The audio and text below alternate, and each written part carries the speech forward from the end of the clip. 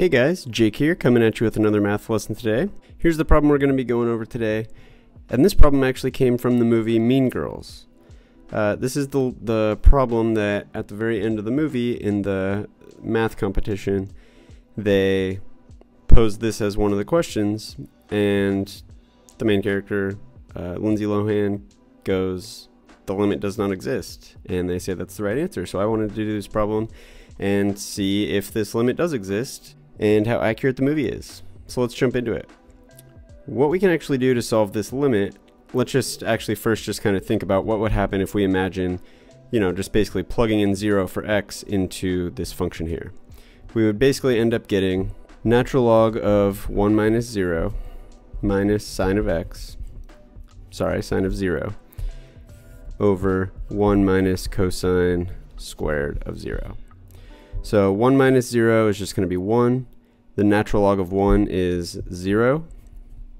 Sine of 0 is also 0, so we're just going to get 0 minus 0, which is just 0 on our numerator. On our denominator, cosine of 0 is 1, and then if you square that, you're just left with 1, so cosine squared of 0 is 1. 1 minus 1 is going to also give us 0. So we get the indeterminate form 0 over 0. So what that tells us is we can actually use L'Hopital's rule to evaluate this limit. So L'Hopital's rule tells us if we take basically the derivative of the top and bottom of our fraction, we can instead take the limit as x goes to whatever this is, in this case x goes to 0, of that new fraction from the derivatives of our numerator and denominator. And that'll be equivalent to our original limit. So we're only allowed to do this because we get this indeterminate form of 0 over 0. You could also do it if you get infinity over infinity, or positive or negative infinity over positive or negative infinity. But this is one of the cases that we're allowed to do it.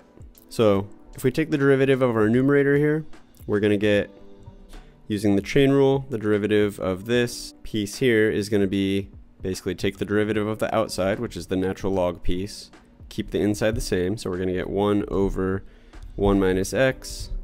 And then we have to multiply that by the derivative of the inside. The derivative of 1 minus x is negative 1. So we're just going to get, you know, negative 1 over 1 minus x for the derivative of that term. Then the derivative of sine is cosine x. So we have a minus cosine x. And then the derivative down here, we're going to get 0. The derivative of 1 is 0. And then for the derivative of cosine squared of x, again, we're going to have to use chain rule.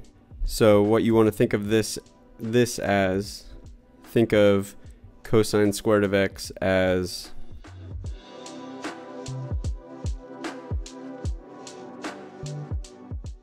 cosine of x squared. So taking the derivative of this, we'll use chain rule. So the outside piece is our squared piece, our inside piece is the cosine x. So if we take the derivative of the outside, leave the inside alone, we'll bring the 2 down in front using the power rule. Leave the inside alone. And then we have to multiply this by the derivative of our inside. The derivative of cosine x is negative sine x. So instead what we'll get is a positive sign out here, and then sine x in here. So now we know this limit is equivalent to this original limit we started with. So if we can find this limit, it would be the same as whatever this one is. So what I would actually recommend for this limit down here is to think about each one-sided limit separately.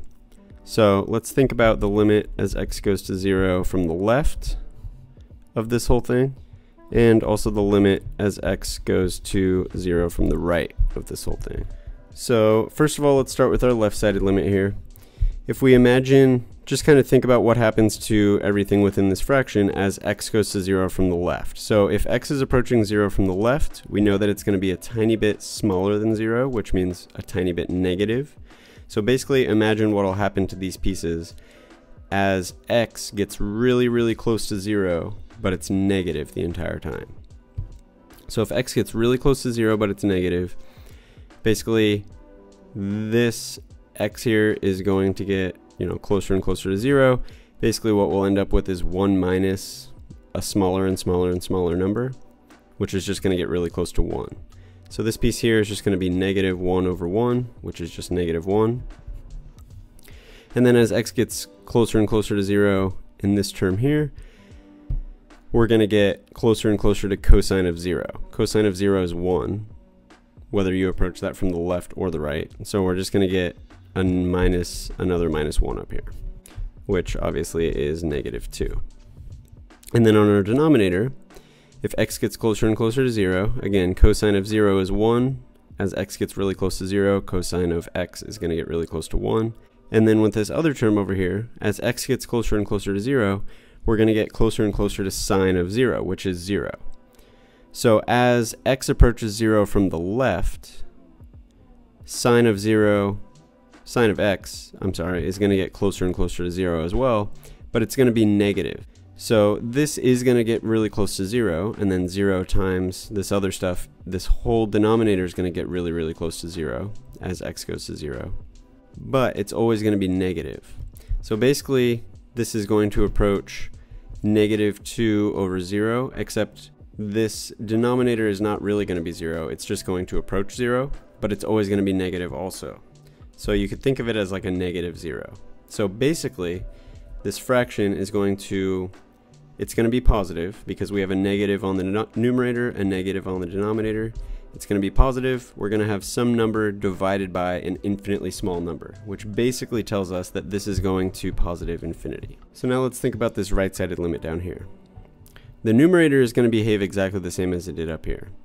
Because the fact that we were approaching 0 from the left or the right didn't really matter. If we approach 0 from either side, both of these pieces are going to approach negative 1 and negative 1. So that doesn't really do anything differently. So we're still going to have this up on the numerator.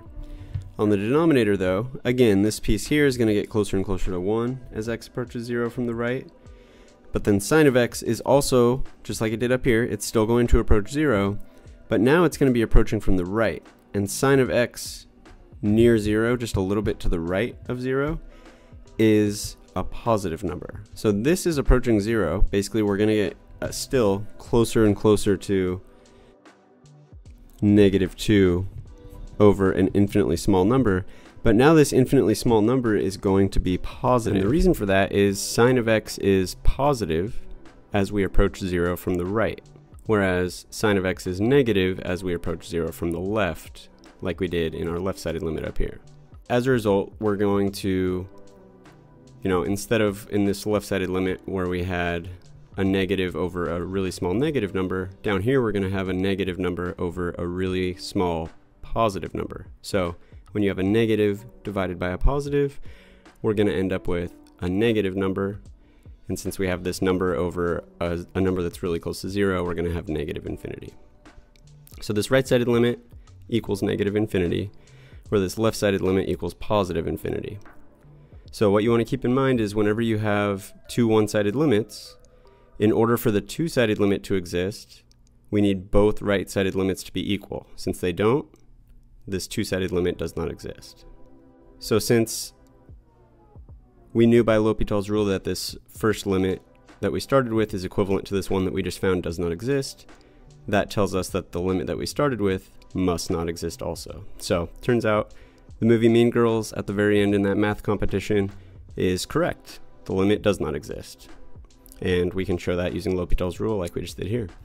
So hopefully you found this video helpful. Um, wanted to switch it up and do something a little different, talk about a movie uh, that I watched recently. So hopefully you enjoyed it. If you did, please give it a like, subscribe to my channel. Those are great ways to help support the channel so I can keep making more videos like this. Thanks and see you next time.